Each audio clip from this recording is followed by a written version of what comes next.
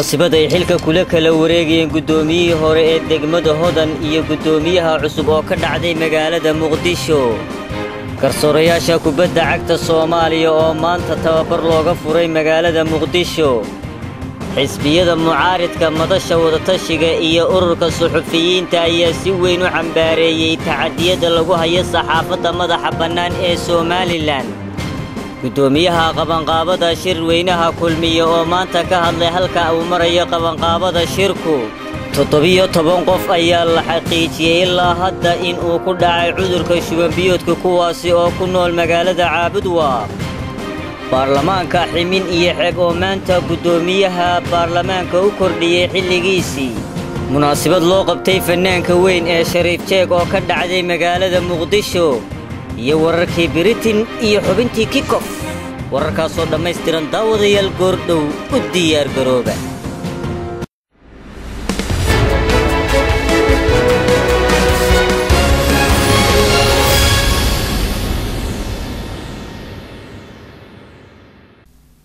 bismi illaahi araxmaani araxiim assalaamu calaykum waraxmatullaahi wabarakaatu nabaday daawadayaal idil ahaantiinba meel kastoo aad joogtaan kuna soo dhowaada war wixii caalamka naga soo gaadhood ka daawanaysaan istuudiyaha telefishinkan caalamiga ee royal xaruntiisa magaalada london. Warkana waxaa idiin akhriyi doona anigoo liibaan xaaji fagadha munaasabad ay xilka kula kala wareegayeen guddoomiyihii hore ee degmada hodan ee magaalada muqdisho. Iyo guddoomiyaha cusub ayaa ka dhacday magaalada muqdisho warkaasi faahfaahintiisa waxaa inoo haysaa wariyaheena foos cabdilaahi nuur. Munaasabadan ay xilalka kula kala wareegayeen guddoomiyihii hore ee degmada hodan iyo guddoomiyaha cusub ee degmada hodan loo magacaabay ayaa lagu qabtay isla degmada hodan ee magaalada muqdisho. Munaasabadaasi xil wareejinta waxaa ka soo qayb galay maamulka gobolka banaadir ururada haweenka iyo marti sharaf kale. Ugu horeyn halkaasi waxaa ka hadlay guddoomiyihii hore ee degmada hodan cabdidhabane ayaa ballan qaaday inuu la shaqeyn doono. Guddoomiyaha cusub wuxuuna ugu baaqay shacabka degan degmada hodan inay la shaqeeyaan guddoomiyaha cusub. Waxaan leeyahay oo guddoomiyaha cusub ku sheegayaa waxaan nahay dadkaan meesha jooga haddaysan kula shaqayn guddoomiye keligiis waxuu qaban kara male waxaa shaqada haye waa dadkaan maanta jooga iyo dad magan hodan haddaad tihiin inaad guddoomiyaha cusub soo dhawaysaan sidaad iila shaqayn jirteen aad ula shaqaysaan sida aqoonideesiibaad ku kartaan sidoo kale halkaasi waxaa ka hadlay guddoomiyaha cusub ee degmada hodan loo magacaabay ayaa ballan qaaday inuu wax badan ka qaban doono dhanka ammaanka ee degmada hodan aabihii degmada waa guddoomiye bis muu ahayn aabihii degmada ahay wuuna sii ahaana wuuna sii ahaana insha allah waxa waaye dadka la wada shaqaynaayo arrimaha bulshada kala shaqaynaayo wuxuu xoog ka saara arrimaha bulshada oo shaqayn wanaagsan wuxuu lahay haweenka dhallinyarada odayaasha dhammaanna waxa waaye sida ula shaqeeya si si wanaagsan ula shaqeeyanaa isagana wuxuu naga ahaana oday arrintaas maalmihii u dambeeyey ayaa guddoomiyaha gobolkani banaadir wuxuu waday xilka qaadis oo ku sameynayo guddoomiyaashii hore asigoona magacaabaya guddoomiyaal cusub. Hoos cabdulaahi nuur royal t v muqdisho xisbiyada mucaaridka ee somalilan madasha wadatashiga iyo toosinta ee qaranka ee somalilan iyo ururka suxufiyiinta soolja ayaa maanta si isku mid a waxay uga hadleen tacadiyada ba'an ee xukuumadda somalilan ku hayso saxaafadda madaxa bannaan kaasi oo toddobaadadii ugu dambeeyey ay albaabada u xidhay wargeyskii madaxa bannaanaa ee haatuf haddaba waramuurtaasi ku saabsan waxaa inoo haya wariyaheena bedri koosaar shirkani jaraa-idu ay wadajir u qabteen xisbiyada mucaaradka madasha wadatashiga iyo toosinta iyo weliba ururka suxufiyiinta ee soolja ayay kaga hadleen. Xadhigga baryihii u dambeeyey xukuumadda somalilan ku ugaadhsanaysay amaba kula kacaysay qaar ka mid ah warbaahinta madaxa bannaan ee somalilan. Waxaana guud ahaan mas'uuliyiintii goobtaasi ka hadlay oo hadalka iskaga kala dambeeyey yidhaaheen. Maalin walba qodob baa la jebiyaa subaxii waagu beryaba marka maanta waxaynu u fadhinaa qodobka labiyo soddonaad oo saxaafadda ka hadla iyo qodobka siddeed iyo labaatanaad oo xaqa dacwadda qofka bila'aadanka ahi inuu dacwoon karo oo dacwad loo ogolaado marka taa laga gudbo waxaanu runtii cambaaraynaynaa coddeer ku cambaaraynaynaa xadhigga iyo caburinta iyo cagajuglaynta lagu hayo saxaafadda. Hadda ay ugu dambeeyeen labadan jaraa'id iyo websaydadan hubaal iyo haatuf oo websaydadiina laga xidhay iyagiina la xidhay.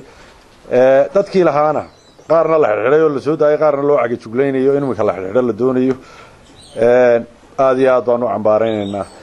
Waxaanu kaloo cambaaraynaynaa cagajuglaynta iyo hanjabaadda ku dhacda ganacsatada hodheelada leh ee la yidhaha hodheelkiina ma kiraysan kartaan oo waxba kuma qaban kartaan shirar laguma qabsan karo. Marka cod dheer baanu ku cambaaranaynaa waxaanu ugu baaqaynaa xukuumadda inay inay ka dayso annagoo maxay ahayd halkan aanu ku wada joogno labadii xisbi qaran madashii civil society-gii dadkii nooga yimi maxay ahayd iyo suxufiyiintii wax kalena meesha maa loogu iman maanta ilaa sagaalkii subaxnimo waxaanu gorofeynaynay sidii loo asaasi lahaa xulufo aanu ugu talagalnay inay ilaaliyaan xaquuqal insaanka somalilan dhibaatooyinka dhacaya ee fara badan ee aanay cidi ka hadlayn. Waxna aanan laga qabanayn ay dowladda somalilan ay maxahayd ku tallaabsatay oo sharciga aana waafaqsanayn. Dastuurka somalilan ee aynu samaysana aana waafaqsanayn.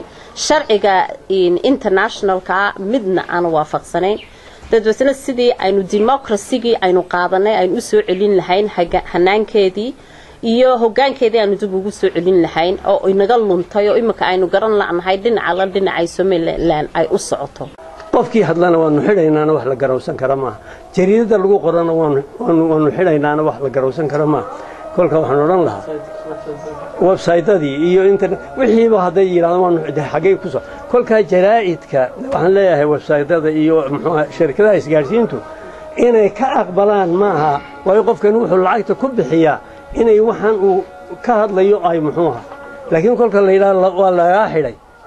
Waxa weeyaan waa xaqdarro weyn. Xaflaya dhibaatada ugu weyne maanta isukan keentay inay kow ka tahay tacadigan iyo gaboodfalkan ku dhacay instituushannadii warbaahinta oo ah dhaqan cusub caado cusub iyo dagaal cusub oo saxaafadda ay xukuumaddan talada haysaa u qorshaysay.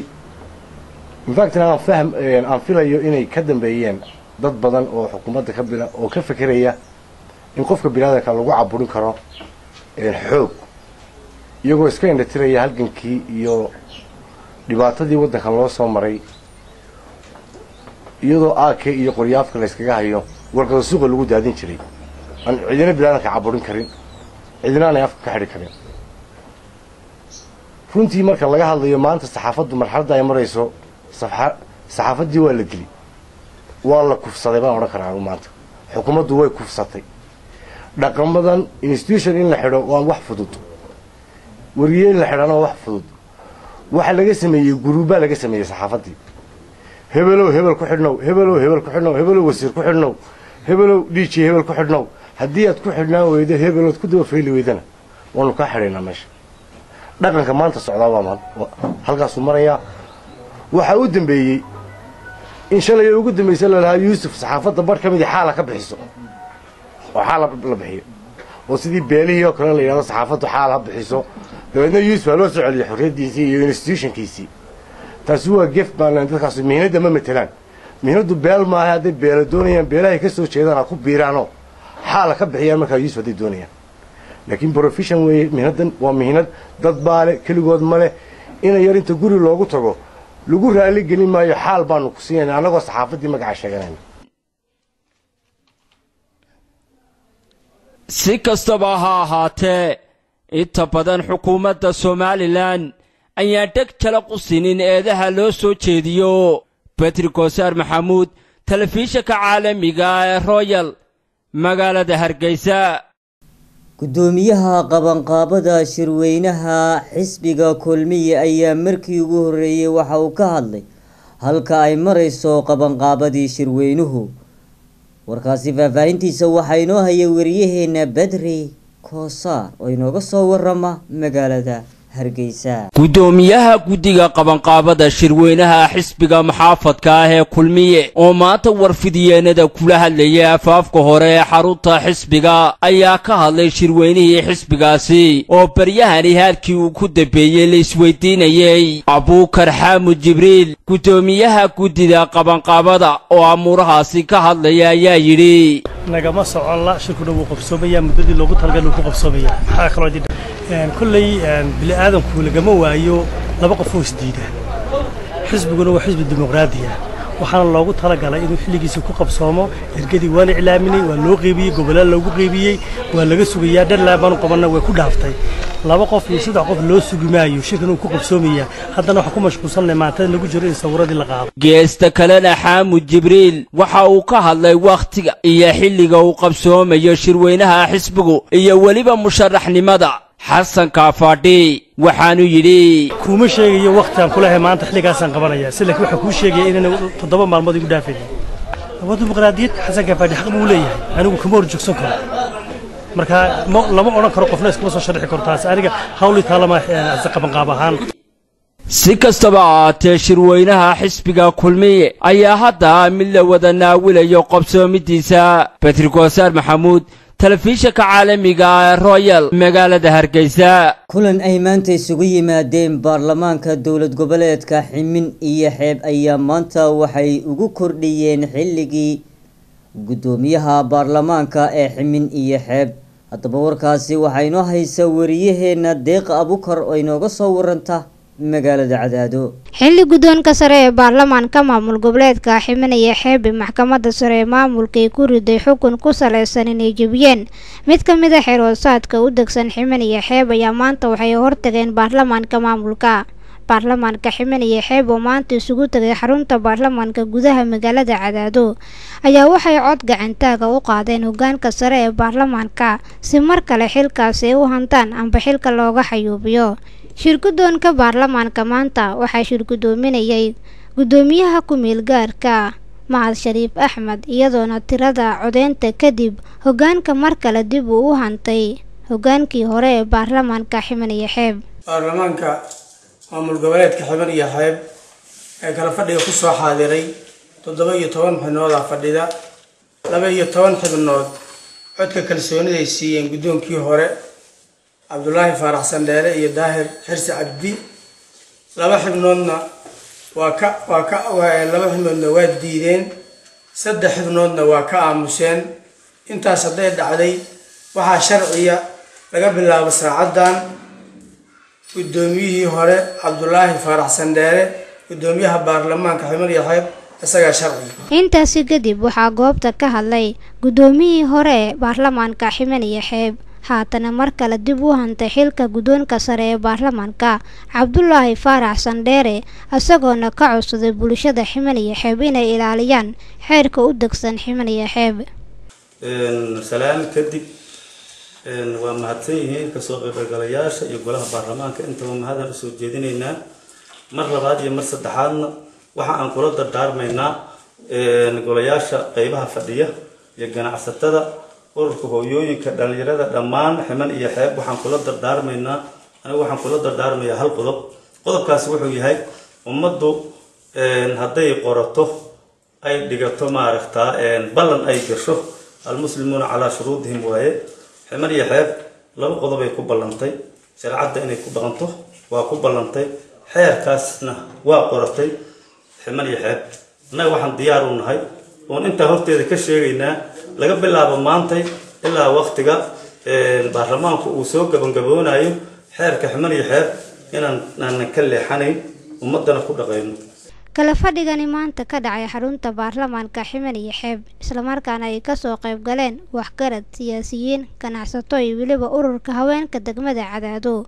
Ayaa ahaa mid cod kalsooniya loogu qaadayay baarlamaanka ximan iyo xeeb xilli maxkamadda sare ee maamulka ee xukun ku riday. Kadib markii sida la sheegay ay jebiyeen sharci ka mid a xeroosaadka u degsan ximan iyo xeeb deeqahu karjinow telefishinka caalamiga ee royal magaalada cadaado. Ilaa toddoba iyo toban qof ayaa la xaqiijiyey in uu ku dhuftay cudurka loo yaqaano shuban biyoodka toddobiyo tobankan qof ayaa ahaa barakacayaasha ku nool magaalada caabudwaaq haddaba waramuurtaasi ku saabsan waxaa magaalada caabudwaaq nooga soo diray wariyahayaga yuusuf cabdi shire yuusuf yare. Siday noo sheegeen dhakhaatiirta isbitalka badbaado toddobiyo toban qof ayaa ilaayo imika uu soo ritay cudurkani waxaana dadkani ay ka mid yihiin dadka barakacayaasha ah ee ku nool kaamka dayacan ee magaalada caabudwaaqa xalay ilaa maanta ayaa waxaa ka soconaya xarunta caafimaad ee badbaado gargaar fara badan oo loo samaynayo dadka la ildaran cudurkaasi shuban biyoodka waxaana gaadiidka ambalaasta ee xaruntaasi ay booqanayeen kaamkaasi dayacan oo inta badan dadka cudurkani uu soo ritay ay ku sugnaayeen.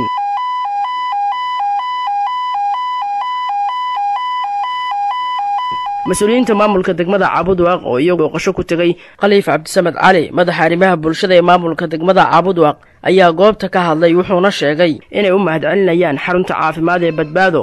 Oo inta badan dadkan barakacayaasha ah gurmadka u samaysay isagoona ugu baaqay hay'adaha kale ee samafalka inay kala qayb qaataan samabixinta dadkan la ildaran cudurka shuban biyoodka waxaan ambalyo u celinaynaa qolooyinkan badbaado isbitaalkan badbaado ee dareefarka ah isbitaalkaasoo kaalin muhiima ka qaatay ilaa xalay ilaa saaka ilaa hadda gurmanaya midna waan koo dardaarmaynaa adinka waxaan codsanaynaa horta arday ahaan iyo dad ahaanba inaad ku dadaashaan nadaafadda.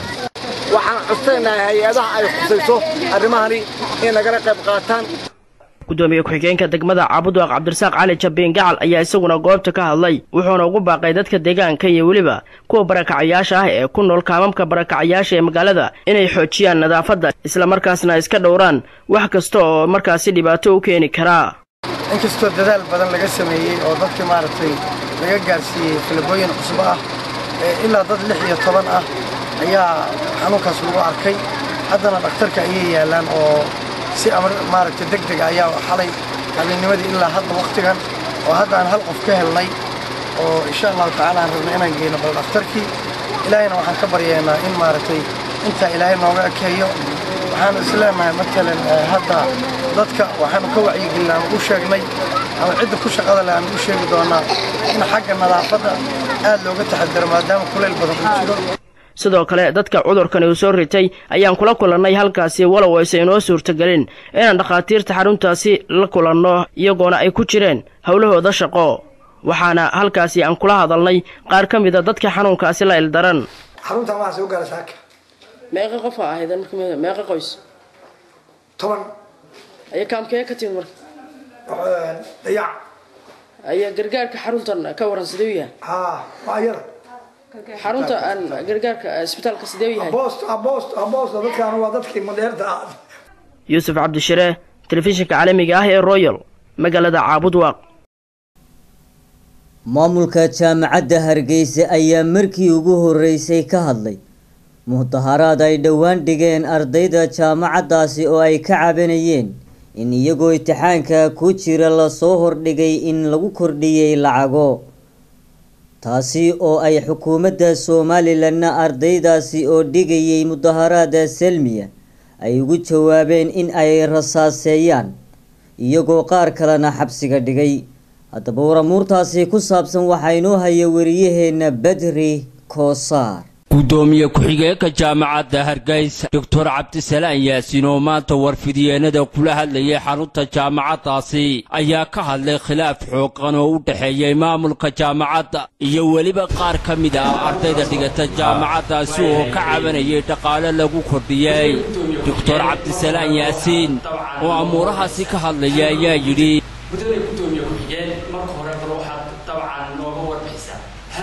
khilaafkii baryihii dhawadya jiray ee dhinaca ardayda oo mudaharaad sameeyey oo qaarkood la sheegaya inaanay dabcan weli u soo noqon jaamacaddii xaalkaasi mudana ku dambe xiganaad ugu dambeeyey بسم الله الرحمن الرحيم الحمد لله رب العالمين والصلاة والسلام على سيدنا رسول الله وعلى آله وصحبه أجمعين khilaafkaasi waa tii lasoo afjaray khilaafkaasi horta khilaaf maaha isna runtii ise wuxuu ahaa jaamacadda waa kan dastuurka jaamacadda waa kaa weeya dastuurka jaamacadda jaamacadda wuxuu xaq u siinayaa in ay xusuubta ama fiiga jaamacadda laga qaado markay doonto iyadu ay kordhin karto oo maslaxad wixii ay muddo jaamacadda inay tahay iyadoo eegeysa ay ku dari karto. Tii un baanay jaamacaddu samaysay wax kale oo ay maaragtay ku kacday ma jirto. Ardaydu in ay kala tashato iyo in waalidka kala tashato sida runtii midna kuma yaalla dastuurka jaamacadda lakiin waxay ku yaalla inay jaamacadda maamulkeeda guddida jaamacadda iyo maamulka iyo guddiyada jaamacadda kale inay gudaheeda intay ka tashadaan wixii ay dhan moodaan iyagu markaa gaadhaan. Intaasoo jaran jaraanay maraysaa isla eega maslaxadda. Marka intaasay eeg horta inta meesha timi ardaydii mar kaloo keliya maahay intaasoo jeeroo hore jaamacaddu istiri iyadoo dan u moodeysa waana jaamacadda ugu ballaaran waddanka lix kun oo arday ku jira waana sii ballaaranaysa. Iskuuleeda secondary school loogu talagalo todoba boqol arday gelayaan baa lagu bilaabay kun oo arday bay maraya. Cidina samadan ay nagala soo daatay dahab iyo lacag. Cidina meel kale lacag waxaa lagu wadaa tuition fee markaa tii baa maslaxadda diga waa la kordhiyey. Ardaydu way ka caban karta way diidi kartaa laakiin maaha in ay mar haddii jaacad jira waa lagu dhaqmayo waa lagu soconaya. In ay dabeedna ay ardaydu ay arrinkaa ay u hoggaansamaan iyagii waalidku weeyaan oo ay saa ku socoto waanay socotay hadday tahay maamulka jaamacadda hadday tahay guddida jaamacadda iyo hadday tahay xukuumadduba sidii bay ku dhameeyeen oo lacagtaas saas bay ku soconaysaa sanadka labada boqol ee dollar waa gartay gudoomiye ku-xigeen in dad badan waxay leeyihiin miyaanay jirin nidaam dhinaca gudoomiye idinka maamulka iyo ardayda idin dhexeeya oo dabcan maxaa keeni kara ilaa iyo inay arrinku markasta gaadho mudaharaad oo intaa ku horeysa maalo kale miyaa u weyday meelamaan horta de dadku qawaaniinta aan idin sheegin ku kala dhaqmaan oo ay leeyihiin mar haddii la soo arrinka qaanuunka inta loo eego la soo dejiyana waxa weeyaan in uu fulo oo socdo waad ogtoo waxyaalo badan oo qaanuuna baa dadku ay ay ka cawdaan oo ay laga yaabo inay nufsadaan ama diidaan hadday cabanayaan dadku meelo badan oo nidaam ay u caban karaan baa jira waanaan u samaynay waanaan u sheegnay waanaan waxaa weeye jaacadda gudaheeda ayaa ayaa arrinkii aada iyo aada ugu dhex wareegtay. Laakiin kumay qancin ardaydu. Mar haddaanay ku qancin dee waa ardaydu in inuu qofku uu mudaaharaado waxa dastuurkaaba xaq u siinaya laakiin waa inuu mudaaharaad silmiya oo wixiisa ku soo gudbinayo oo aan cidna aan dib u geysanaynin. Uu si wanaagsan ugu mudaaharaado. Laba jeer bay arday mudaaharaadana mar jaacadday dhibaato u geysteen ay geesta kalena waxaa xusid mudan in ardaydii amuurtani ka cabanaysay. Aanay weli hadda foodda soo gelin jaamacaddaasi. Islamarkaana aanay jirin wax waanwaana oo amuurtaasi laga wado. Badri koosaar maxamuud telefishinka caalamiga ah ee royal magaalada hargeysa. Garsoorayaasha kubadda cagta ee soomaaliya ayaa maanta tababar looga furay magaalada muqdisho haddaba warka faahfaahintiisa waxaa inoo haysa wariyaheena nasrakiin xaashi nuure. Xiriirka soomaaliyeed ee kubadda cagta ayaa waxaa maanta magaalada muqdisho si rasmi ay ugu daafureen seminaarkii afraad oo ay qabanaysa fifa iyadoo hore saddex seminaar oo hore uga dhacay dalka jabuuti ay qabanayeen macalimiin ajaaniba oo ka socday xiriirka kubadda cagta adduunka ee fifa axmed al-shanaawi oo u dhashay dalka masar kana socday xiriirka kubadda cagta adduunka ee fifa. Marka magaciisa la soo gaabiya loo yaqaano ayaa soo gaaray gudaha magaalada muqdisho dhowaan waxaana uu maanta si toosa u daafuray seminaarka loogu talagalay garsoorayaasha u diiwaan gashan xiriirka kubadda cagta soomaaliyeed kuwaasoo isugu jira kuwa heerka caalami iyo kuwa gudaha magaalada muqdisho ka qabta qeybaha kala duwan ee isboortiga munaasabada ayaa waxaa goobjoog ka ahaa madax ka socotay xiriirka kubadda cagta soomaaliya iyo guddiga olimbikada soomaaliyeed ee goos. Ugu horeyn waxaa daafuray madaxa tababarada xiriirka kubadda cagta soomaaliya cali siciid oo isagu ka warbixiyey imaatinka axmed al-shanaawi oo ah khabiir sare oo u dhashay dalka masar kana socday fifa oo soo gaaray muqdisho iyo seminaarka maanta lagu qabanayo gudaha magaalada muqdisho. Waxaa maanta farxad weyn noo ah inaan halkan hotel shamo ku qabanayno. Seminaarkii garsoorayaasha oo ah kii afraad iyadoo sidaa la socotaa saddexdii ka horreysay aan ku qabanay jabuuti laakiin ilaahay mahadiyaa ka gaartay maanta aan fursad u helnay inaan ku qabanno kii afraad waddankeena soomaaliya taasoo ahayd riyada xiriirka soomaalida kubadda cagta wixii ku saabsan dhinaca siyaasadda guddoomiyaha iyo xogayaha iga dambeyn doono. Laakiin waxaan rabaa inaan ka hadlo wax yar seminaarka iyo qorshihiisa. Fifa waxay ku tala gashay horumarinta garsoorayaasha. Waxay ku tala gashay in la hormariyo sidoo kale instructorska iyo macallimiinta seminaarkani wuxuu qayb ka yahay seminaarada loo qabto waddamada fifa member associationska ama m a coreska loo yaqaano seminaarka wuxuu socon doonaa shan maalmood haddii la yidhaahdo labaatanka ilaa afar iyo labaatanka iyadoo garsoorayaasha ay ku qaadan doonaan casharo kala duwan aanan aaminsannahay inay ka faa'iidaysan doonaan ama kala hari doonaan in fara badan ama cilmi fara badan axmed al-shanaawi oo ah khabiir dhanka garsoornimada ayaa isagu waxa uu ka hadlay munaasabadda. Wuxuu sheegay inuu aada ugu faraxsan yahay imaatinkiisa muqdisho oo markii ugu horreysay oo imaaday ay tahay tani. Isagoo hore u sheegay in siminaarkan uusan ahayn kii ugu horreeyay oo u qabto garsoorayaal soomaaliyeed. Hase yeeshee uu noqonaya kii afraad iyadoo hore dalka jabuuti saddex siminaaro hore oga dhacay. Hase yeeshee uu kaga duwan yahay siminaarkan kuwii hore in uu ka dhacayo gudaha magaalada muqdisho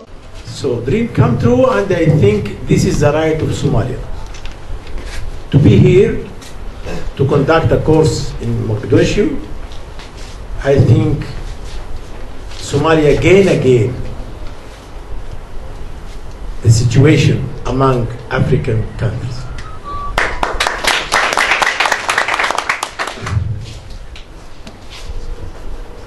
I don't want to, to talk to you much because the course or the content of the course is important than to talk to you now. So what I need from you just to concentrate in the course and thinking about refereeing and how you can gain and upgrade your knowledge from this course.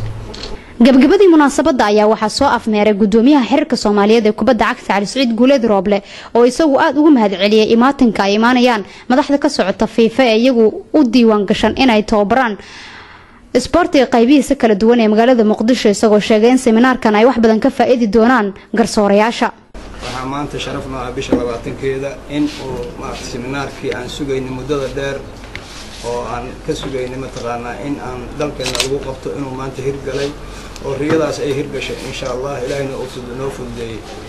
Kow waxay ahayd ballantaan waxay ahayd annagoo joogna jabuuti axmed shanaawi inaan kala ballannay in dalkeenna seminaarka soo socda lagu qabto. Qabashadiina dadaal badanaa loo galay waana noo hirgalay waxaanan rajaynaynaa inaan ka sii fiicnaano.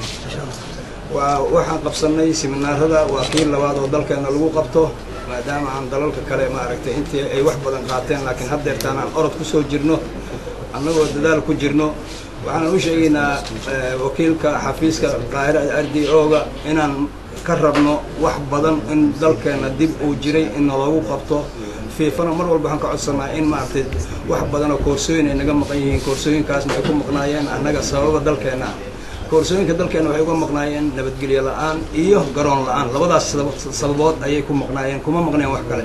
Nabad ma la haynin garoonna lama hayno oo standard oo lagu cayaa oo lagu qabto karo koorsooyinka.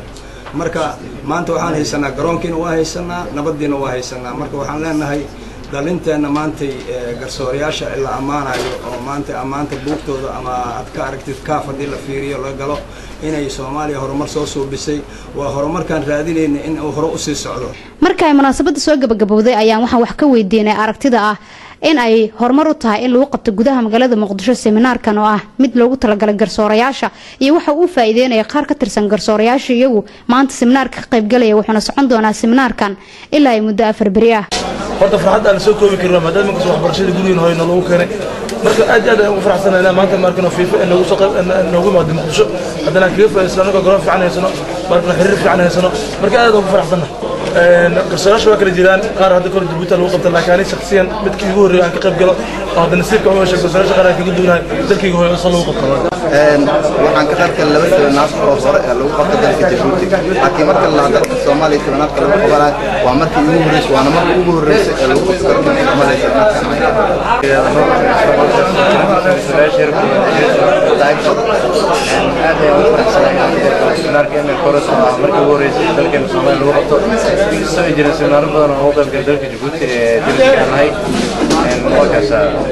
masrakiin xaashi nuure royal t v magaalada muqdisho.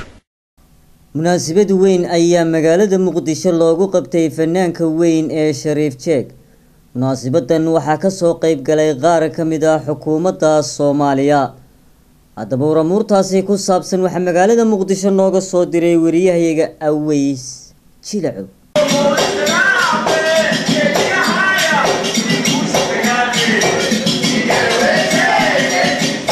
munaasabadan oo ay ka soo qayb galeen xubno ka mid ah golaha wasiirada xildhibaano ka tirsan baarlamaanka fanaaniin waxgarad siyaasiyiin iyo boqolaal dadweyneha ayaa ujeedadeedu waxay ahayd mid sagootin loogu sameynayay shariif jaag oo ka mid ah fanaaniinta iyo jilayaasha soomaaliyeed oo dhowaan dib ugu soo laabtay magaalada muqdisho kadib labaiyo labaatan sano uu ku maqnaa dalka dibaddiisa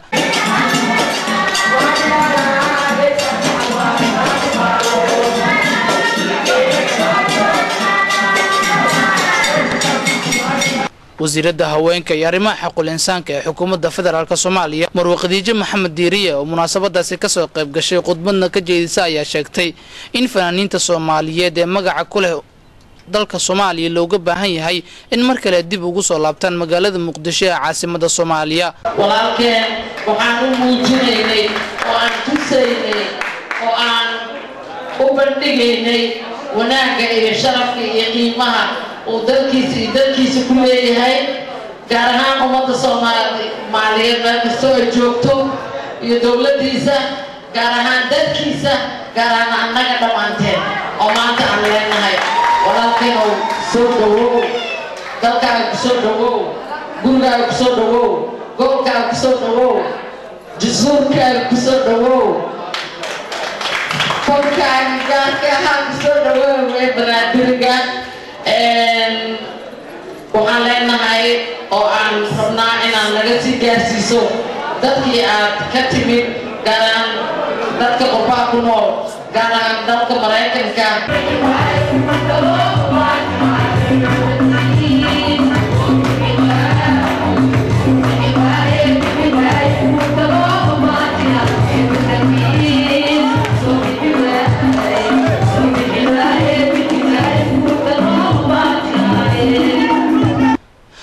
jeeg oo isagu sagootinta loo sameeyey ayaa sheegay inuu ku sii jeedo dalka maraykanka laakiin mar kale uu dib ugu soo laaban doono magaalada muqdisho. Muddada uu joogay dalka soomaaliya inuu ku arkay waxyaabo kala duwan oo dhinaca horumarka ah. Horta hamuun baan ii qabaayo dhulkayga mar kasta oo arkaya dadkayga waan ooyna caw iyo maalinna maniga maqanayo inkastoo ameerika aan joogo ama meelaha qaarkooda aan jiro. Afkayga waxaan ku haayaa soomaaliya waxaan arki soomaaliya markaan ka tegayay calanka soomaaliya oo dhulka yaal. Markaasaan ciishooday waan soo qaaday ihi caliyow maxaasaa ku yeelay? Markaasuu wuxuu yidhi cumrigayga adduunka cilciyaan ku dhammaystay waxaa i canaayay oo cagta hoostiisa ii geeyey cantuurta iigu tufaaya iga caajisay maanta. Waa ciddii ilaheedoon calankooda ahay. War kuwaan iscunaaya iscalaaweysa dhexdooda. Ciddii iyo sharaftood ku cayaari caruurtooda iyo ciloolahooda ciidda hoostiisa ku caasay. War maxaa calan ga dhigay adoo calankood maxaa iga dheli markaasaan calankiisa riyo kuwan waa soo naqanayna iskaga sabaraan irisaanna way kuwa hadda waaba ciishoodii calankii hadda lama labaadoo ciishoodii wuxuu arkay boqol calanaa la suubsaday. Guri kastaba calan oo cagga soo jeeda cagaar gaduud buluug hooska inta war calankii hadda wuxuu yaamay wuxuu leeyahay ma ana ii dhaceen haddana war waxaan calan muxuu yahay halleen ba ahaaye kaligayada ciidda kor ah u sullaaye kuwaan hadda gadaashayda soo baxay inta kiimideen waa yaabayaan laftirkiisa markaan waxaan u sheegi lahay soomaali weyn soomaali weligeeda mid bay ahayd qaybaha dambe munaasabada sagootinta loogu sameynayay shariif jeeg ayaa waxaa lagu soo bandhigay heeso iyo majaajilo ka turjumaysa sida dadka soomaaliyeed ee magaca ku leh dalka soomaaliya ay wakhtiga kan dib ugu soo laabanayaan gudaha dalka soomaaliya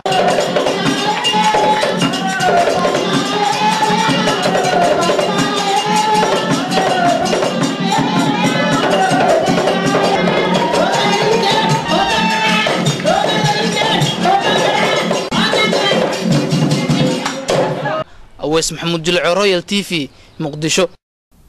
War wixii caalamka naga soo gaadhood ka daawanayseen istuudiyaha telefishinkan caalamiga royal xaruntiisa magaalada london. Daawadayaal intaas ayuu nagaga dhan yahay warka warkan xiga inta aynu ku kulmi doono dhammaan bahda royal t v. Meel kastoo ay joogto waxaa idin leedahay kadaba iyo kulan dambe oo xiiso badan